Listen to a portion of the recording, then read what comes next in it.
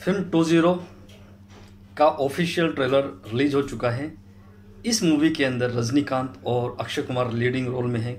क्या इन दोनों की ये मूवी बॉलीवुड में सुपरहिट होगी या नहीं होगी? क्या सबसे ज़्यादा कमाई करने वाली, बनने वाली है या नहीं बनने वाली?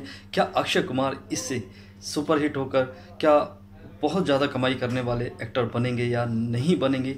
क्या कहते हैं अक्षय कुमार के सितारे इस मूवी के बारे में? क्या उनके सितारे इस मूवी को सफल कराने में सक्सेसफुल होंगे या नहीं होंगे, यही सब मैं इस वीडियो में बताने वाला हूँ। मित्रों, आप इसको अंत तक अवश्य देखिए। उससे पहले मैं आपको बताना चाहूँगा, यदि आप भी बॉलीवुड से जुड़े हुए हैं, आप उस करियर से जुड़े हुए हैं या उस करियर में जुड़ना चाहते हैं तो आप मुझे अपनी जन्म कुंडली भेजिए, मुझे इनबॉक्स करिए। मैं आपको बताऊँगा कि आप फ़िल्म इंडस्ट्री के अंदर सक्सेसफुल होंगे या नहीं होंगे, क्योंकि आपके ग्रह नक्षत्र ही आपको किसी भी प्रोफेशन में सक्सेसफुल होने की गारंटी देते हैं। यदि आप उस पर्टिकुलर प्रोफेशन में होते हैं तो आप सफल हो जाते हैं और नहीं होते तो फिर आपको काफ़ी संघर्ष करना पड़ता है। तो चलिए हम बात कर लेते हैं अक्षय कुमार की जन्म कुंडली के बारे में। क्या उनकी कुंडली इस मूवी को सक्सेसफुल कराने में मदद करेगी या नहीं करेगी? अक्षय कुमार का जन्म 9 सितंबर उन्नीस सौ बारह बजकर पाँच मिनट अमृतसर, पंजाब में हुआ। यदि हम बात करें उनकी कुंडली के बारे में तो उनकी वृश्चिक लगन की कुंडली बनती है और उनके जो ग्रह पहले घर में मंगल बैठा हुआ है, शनि उनका बारहवें घर पाँचवें घर में है, राहु उनका छठे घर में है, गुरु उनका नवम भाव में है, शुक्र और सूर्य उनका दशम भाव में है, बुध उनका ग्यारहवें घर में है, चंद्रमा केतु उनका बारहवें घर में है। जैसा कि मैं हमेशा बोलते आया हूँ, देखिए उनकी क्या जन्म कुंडली है, कमाल की जन्म कुंडली और ऐसा लगता है कि अक्षय कुमार केवल फ़िल्म इंडस्ट्री के लिए ही बने हुए हैं।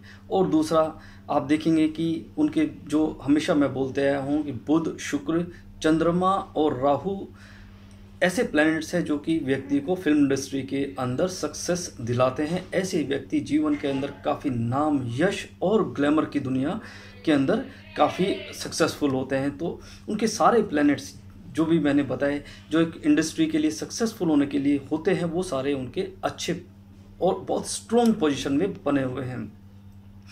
यदि हम बात करें उनकी जो दशा की तो देखिए कमाल की एक कॉन्सिडेंस मैं कहूँगा कि उनकी जो दशा चल रही है 16 अक्टूबर 2016 से लेकर 16 अक्टूबर 2026 तक शुक्र की महादशा चल रही है। जैसा कि मैंने पहले ही कहा कि फ़िल्म इंडस्ट्री में सक्सेस के लिए शुक्र बुध चंद्रमा और राहु ग्रह होते हैं तो देखिए इनका शुक्र की ही महादशा चल रही है। तो ये तो बड़ी आ, आ, बात क्लियर हो जाती है कि ये मूवी काफ़ी सक्सेसफुल होने वाली है।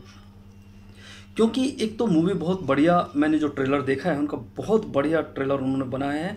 और इसमें जो जो एक लीडिंग जो स्टार्स हैं, रजनीकांत और अक्षय कुमार, दोनों की मैंने जो जन्म कुंडली यहाँ देखी है, उसमें रजनीकांत की जो दशा है, वो बुद्ध की महादशा चल रही है और अक्षय कुमार की शुक्र की चल रही है।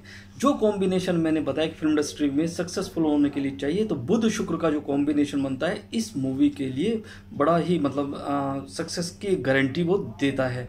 तो मित्रों, ये एक जो मूवी है, बहुत सुपर हिट होने वाली है। देश के अंदर ये अब तक की जो मूवी ने जो पैसा कमाए सबसे ज़्यादा पैसे कमाएगी, ऐसा मुझे प्लानिटरी पोजीशन देखकर लगता है।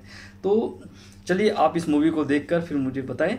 आपको यदि ये मेरा वीडियो पसंद आए और यदि आप चाहते हैं कि आप भी इस इंडस्ट्री से जुड़े हुए हैं, आप अपने बारे में जानना चाहते हैं तो मुझे इनबॉक्स करें कमेंट करें लाइक करें और मेरी इस वीडियो को अपने जो भी सर्कल है उसमें शेयर ज़रूर करें। मेरे चैनल को सब्सक्राइब ज़रूर करना चाहिए आपको, जिससे कि मेरी आने वाली वीडियो आपको बराबर मिलती रहे। नमस्कार।